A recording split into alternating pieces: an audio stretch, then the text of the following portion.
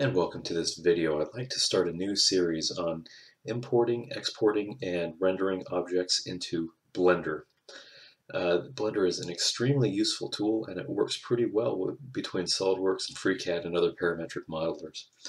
Uh, I'm doing this as a collaboration with All Visuals for You. Uh, All Visuals for You is a great channel. Uh, if you haven't already, go go watch some of the uh, videos, and I, I think you'll agree that there's some great quality and some great material on that channel hit the subscribe button on there as well.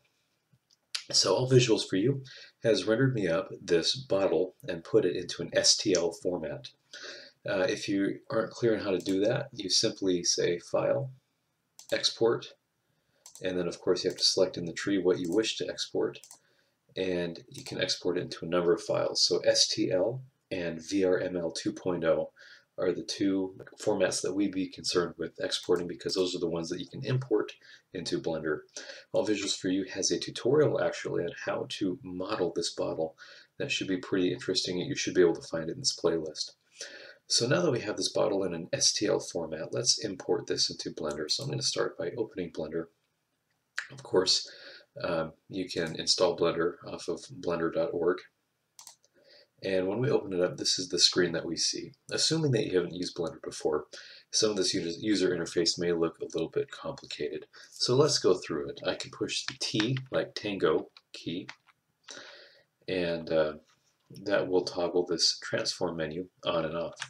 This menu is concerned with the physical objects that we see here. You can import a cube like this, you can import planes and uh, spheres and shapes and all, all kinds of things.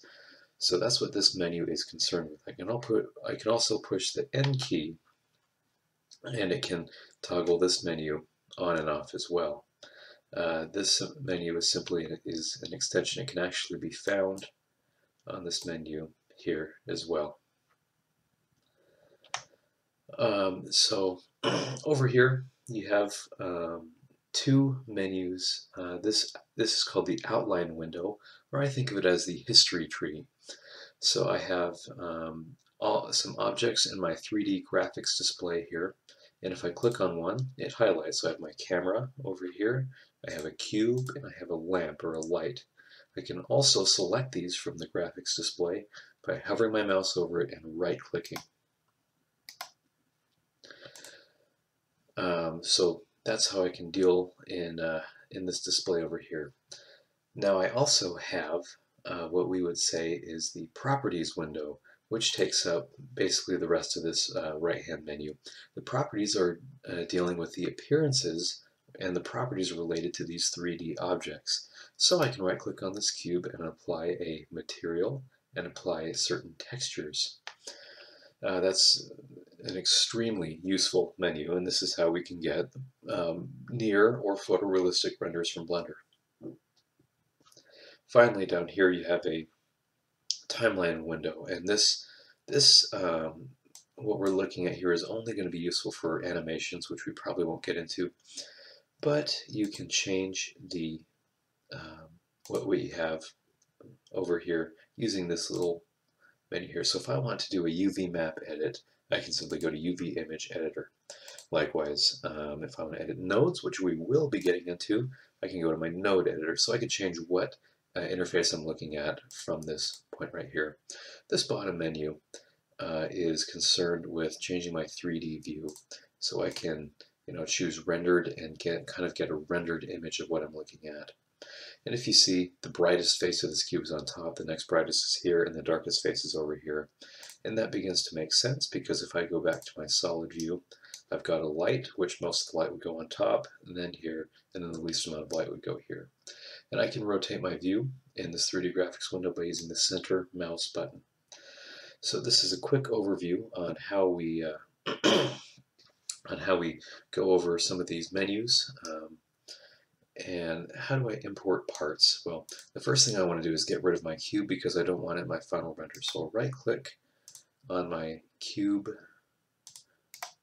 and select delete and my cube is gone. I can hit control Z or Z and just put the push the delete button and click on OK as well. So two ways to delete the cube there. If I want to bring that uh, bottle in that All Visuals for You has made, I go to File, Import, and I choose the STL format. This is uh, this WRL is also the VRML 2.0 that we have um, talked about earlier in this video. So I'll choose STL and I'll go to you know whichever folder that my bottle is in and double click on it and we've imported the bottle into Blender. As you can see this bottle is huge so I want to size this down to something that's a little bit more realistic. Uh, this is because you know there's scale differences when you import and export. So in order to get this right, um, I'm going to move my mouse to the edge of my graphics display and push on the S key, S like Sierra, and this is for scaling it down so I can uh, move my mouse closer and closer to the origin and then I can click when I'm done and I can scale it even a little bit more if I wish and that is how I can import this object into Blender. Likewise, I can move this object using the uh, origin that you can see. Blue is for the z-axis, green is for the y-axis, red is for the x-axis. So I can move this into a position that satisfies me. Uh, with that being said, I think that's probably a good stopping point to have you go ahead and play with Blender and some of the things that you see. Join me in the next video where we talk more about this user interface and how to get a render that we can be happy with. I'll catch you in the next video.